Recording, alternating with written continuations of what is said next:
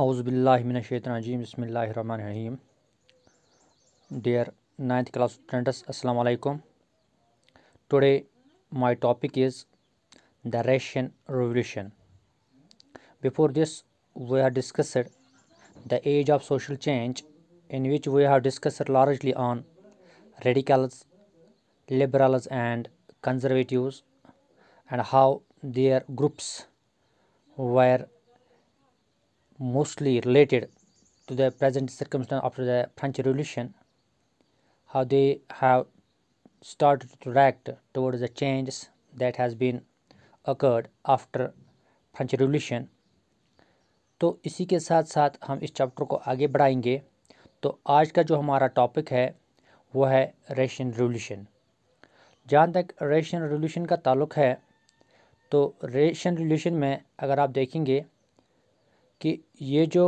मिसाल के तौर पर जब इंडस्ट्रियलाइजेशन हुई वहाँ से आफ्टर द फ्रेंच रेवोल्यूशन के बाद तो उसके बाद क्या हुआ? जो सोशलिस्ट थे, जो ये चाहते थे, जो बिल्कुल टोटली अपोजिट थे, किसके? प्राइवेट इंटर्नशिप के and they were mostly favoured towards this concept that the whole property should be should belong to the society of that state यहाँ पे जब आपने देखा होगा, सोशलिस्ट जो है, उन्होंने यूरोप पे, यूरोप के साथ यूरोप के बाद सिचुएशन को देखकर उसके बाद, अगर हम यूरोप में देखेंगे तो वहाँ पे उतने ज़्यादा ये सोशलिस्ट जो है कामयाब नहीं हुए। लेकिन जब वो हम रशिया की बात करेंगे तो रशिया में जब ये आए तो उन्होंने इसमें बहुत सारा वर्क किया। तो उन्होंने 1917 में फरवरी 1917 और फिर अक्टूबर 1917 इन दो मरहलों में ऐसी इनकलाब लाए कहाँ पे? रशिया में, जिसको फिर नाम दिया गया रशियन रेवोल्यूशन। अब हम बात करेंगे इस रशियन रेवोल्यूशन की कंडीशन में कैसे ये हुआ, किस तरीके से हुआ वजूहत क्या बने? तो ऐसे में अगर आप देखेंगे तो जो रशियन एम्पायर था 1914 में तो ज़ार निकोलस जो था ज़ार निकोलस सेकंड जो था, वो इस रशिया और अपने इस एम्पायर को, उस वक्त जो इसका एम्पायर था, इसका, उस वक्त जो इसका एरिया इलाका था, वो इस पर हुकूमत करता था।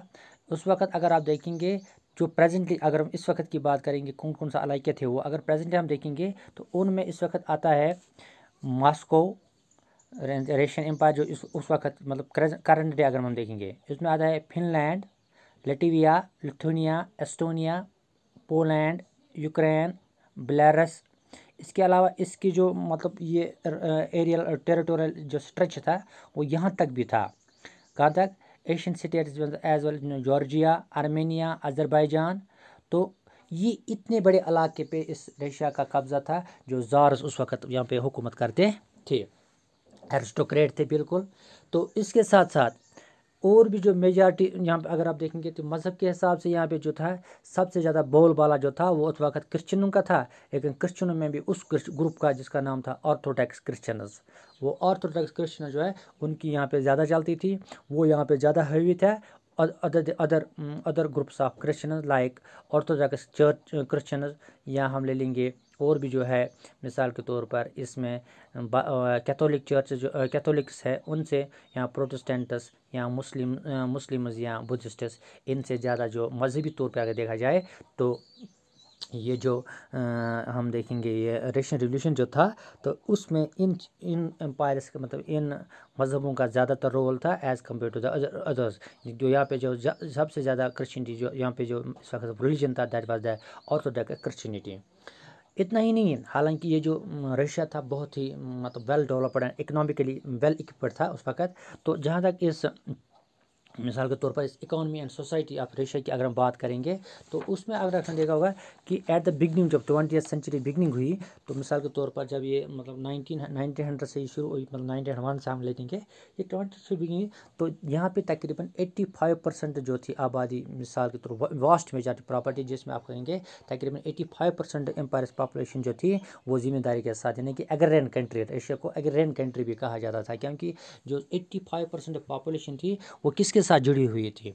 वो बिल्कुल एग्रीकल्चर के साथ जुड़ी हुई थी और अपनी रोजी रोज में इतना ही नहीं, वो अपने पॉपुलेशन मतलब और लिविंग फॉर एग्रीकल्चर सिर्फ़ 85 परसेंट वो अपनी ज़िंदगी के ज़रूरियात जो है, वो एग्रीकल्चर से हासिल करते थे। इतना ही नहीं तो ये जो था, अगर आपने देखा हुआ कि दूसरे यूरोप यूरोपियन कंट्रीज़ जो थे, इनके मुकाबले में जो रेशा था, वो बहुत ज़्यादा था। क्योंकि बहुत अगर हम दूसरे मुल्कों में देखेंगे, जब सपोज़ फ्रांस में देखेंगे, ब्रिटेन में देखेंगे, जर्मनी में देखेंगे, इन हल्कों में उनमें कमी थी। अगर फ्रांस में देखेंगे तो पचास परसेंट चालीस परसेंट था।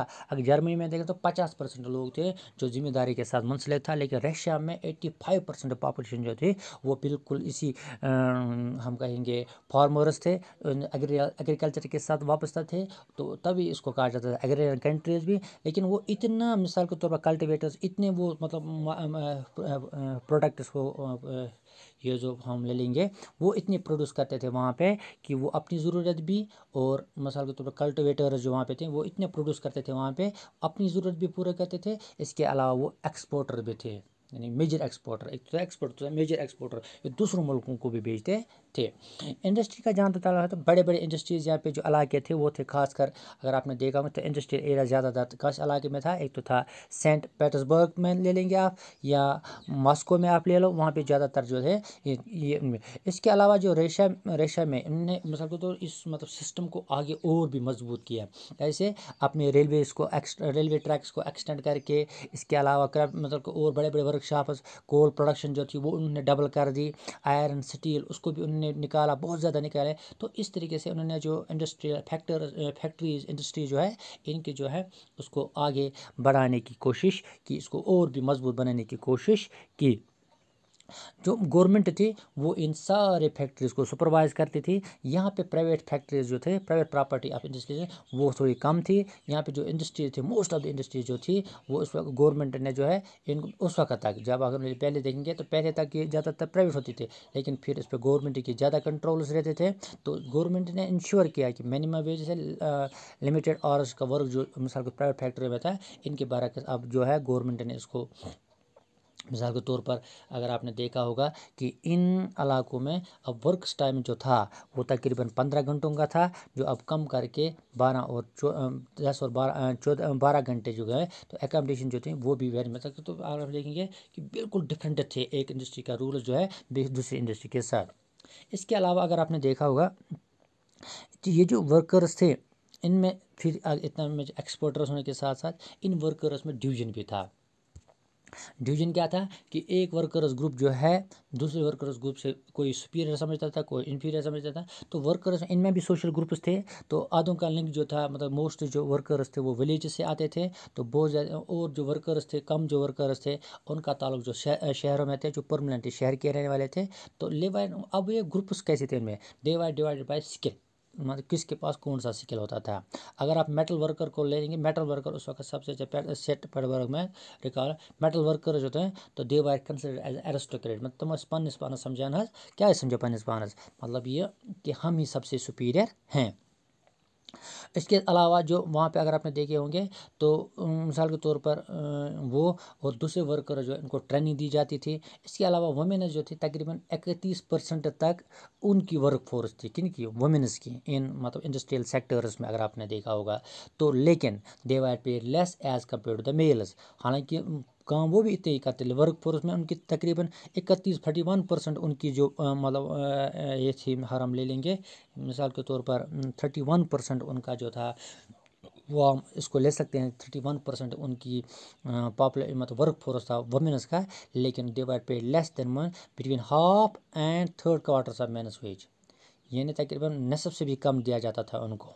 इसके अलावा जो डिविजन्स थे, इनके ड्रेस में भी, मैनर्स में भी सो में भी, लेकिन उनकी एसोसिएशन में भी। लेकिन जब कोई मामला होता था वर्कर्स के रिलेटेड तो तब उनमें ये डिवीज़न जो है, तब तब गेट यूनाइटेड उस वक्त वो डिवाइडेड नहीं होते थे, उस वक्त वो यूनाइटेड होते थे। और जो भी होगा वर्क कंडीशन ऑफ़ एम्प्लॉयज़ की work condition of this workers के बारे में तो उस वक्त ये डिवाइड नहीं होते थे, इस वक्त यूनाइटेड होते थे। इसकी मिसाल अगर आप ले लेंगे तो टेक्सटाइल इंडस्ट्री में जब ये हुआ स्ट्राइक हुई एटीन से लेकर एटीन में, या मेटल इंडस्ट्री में ज्यूरिंग नाइनटीन में। इसके अलावा कंट्री साइड में अगर आप देखेंगे एक तो होता है मुल्क यानी कि गाँव में अगर देखें देहातों में अगर आप देखेंगे तो पीजेंट्स थे कल्टिवेट मोस्ट ऑफ़ ज़्यादातर वही लोग जो है वर्क मतलब पीजेंट्स थे वो ज़्यादातर लैंड को कल्टिवेट करते थे।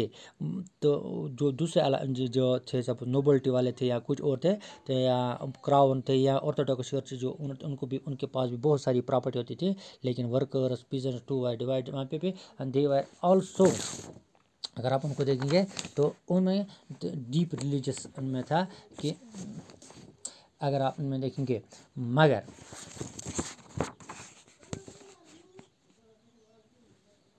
ये जो वर्क मतलब लोग थे वहाँ पे, डीपली रिलीजियस थे। इनके पास मतलब मजहबी तौर पर, वो ज़्यादातर मज़हब के साथ रिलेटेड हुए थे। तो इस तरह जो थी कुछ जहाँ पे थे मतलब के तौर पर वो इन नोबल्टी जो है कुछ इनके साथ रेस्पेक्ट करते थे, लेकिन यहाँ पे रशिया में उनको नोबल्स को ज़्यादातर रेस्पेक्ट नहीं मिलती थी, जितने कि अगर आपने देखा फ्रांस में, ब्रिटेन में, वहाँ पे उनको बहुत सारी रेस्पेक्ट मिलती थी पीजेंट से किनको नोबल्स को। तो लेकिन नोबल्स की ज़मीन जो थी, उन पे उन पर कौन मतलब वो उनको कौन कल्टिवेट करा रहा था पीजेंट्स करा रहा था।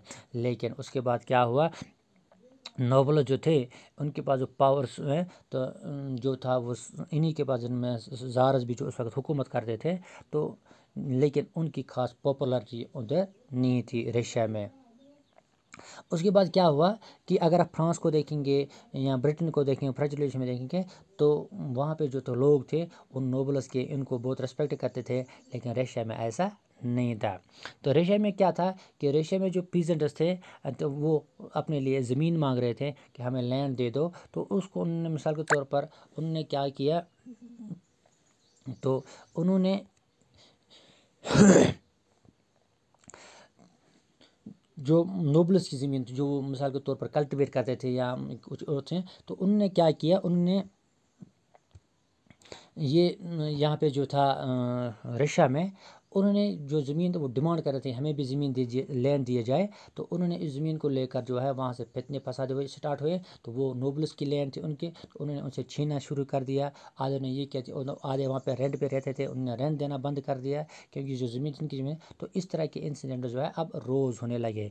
एंड जो वर्कर्स थे, उन्होंने अब क्या किया? उन्होंने इससे भी इनकार कर दिया कि हम जो भी मिसाल के तौर पर रेंट नहीं देंगे उन्होंने इवन कि इतना तक नहीं, उन्होंने फिर अपनी मकान मालिकान या अपने इन ज़मींदार मालिकान जो भी थे उनके पास, जिनका ये ज़मीन लगाते थे या जिनकी ये मिसाल के तौर पर, मिसाल के तौर पर जिनके घरों में ये रहते थे, जिनको ये रेंट पे करते थे तो उन्होंने इसको, उसकी खिलाफ वर्जी करते हुए उन्होंने रिफ्यूज़ किया टोटल कि हम इनको ये नहीं दे देंगे। इतना ही नहीं उन्होंने फिर उनका मर्डर मर्डर भी किया इन लैंड लॉर्ड्स का, जिनकी ज़मीन होती थी, जिनका ये ज़मीन लगाते थे, उनका क्या किया, कत्लेआम किया तो ये तो ये इंसिडेंट्स तो होते रहे। इन नाइनटीन टू की लार्ज स्केल पर होने लगे और जो नाइनटीन फाइव में आया तो साउथ एशिया में थी nineteen five the took all over the Russia ओस ये they were confined to the Russia, such incidents were confined to the South Russia. But um, in 1905, the, such incidents were took place all over the Russia. यानी सारी Russia फैलाव यह यानी सब सारे Russia में ये पूरी तरह से फैल चुका था कि ये जो पीजेंट्स थे जो लैंड लगाते थे जो लैंड लर्ड्स की ज़मीन होती थी उन पर वो कर, उनको कल्टिवेट करते थे। तो उन्होंने इसके खिलाफ आवाज़ उठाई उन्होंने कहा कि ये ज़मीन जो प्रॉपर्टी है it should be divided according to the needs of the people तो फिर क्या हुआ? रेशन पीजेंट्स जो थे वो यूरोप के जो दूसरे पीजेंट्स मतलब यूरोप के जो दूसरे लोग थे जो जो यही काम करते थे यूरोप में जो दूसरे की ज़मीन लगाया करते थे कल्टिवेट करते थे उनसे वो डिफरेंट थे। तो उन्होंने क्या किया? उन्होंने वो टुगेदर होकर उन्होंने क्या क्या कहा उन्होंने अपने जो, उनका मतलब लीडर होता था, जिसको हम कहते, वहाँ पे कहते थे मीर, एम आई एम, आया मीर केम्यून होता था, यानी एक ग्रुप लीडर होता था तो वो इस ज़मीन को डिवाइड करता था according to the needs of the individual families किस फैमिली को कितनी ज़मीन की ज़रूरत होती, है तो उसी तरीके से उस फैमिली ज़मीन को डिवाइड किया जाता था। क्योंकि ये जो रशियन पीजेंट्स थे they were totally different from the European peasants वो यूरोपियन पीजेंट से बिल्कुल डिफरेंट थे। वो यूरोपियन पीजेंट से बिल्कुल डिफरेंट थे। क्योंकि उनका जो मसाल को आप लेंगे कि यहाँ पे जो था, यहाँ पे जो यूरोपियन कंट्रीज़ जो थे, जो आप ले लेंगे तो यूरोपियन कंट्रीज़ के रिप्रेजेंटेटिव थे तो वो प्राइवेट इंटरशिप के साथ साथ ही चलते थे। उनमें सोशलिज्म सोशलिज्म का जो था, हालाँकि वो भी इसको फेवर करते थे सोशलिज्म को। और they were they get not successful but in Russia the peasants workers they get successful in in in their हम कहेंगे, अपने इन मकसद में जो उनका काम था कि सोशल पैटर्न होना चाहिए तो वो उस मकसद में कामयाब हुए। तो फिर उन्होंने क्या किया?